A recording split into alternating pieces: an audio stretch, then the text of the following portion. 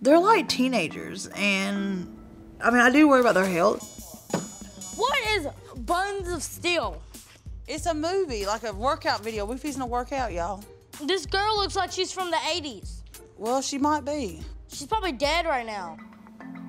At the end of the day, you know what I'm saying? I'm not going to say, okay, you got to eat salads or you got to all the time eat a certain way. Um, because I have seen Pumpkin and Alana both lose weight, but I've also seen them gain weight too. So, I mean, I do worry about their health. I mean, don't get me wrong. Yeah, I mean, I do. Because I don't want them to end up like I did at 460 pounds. Who does?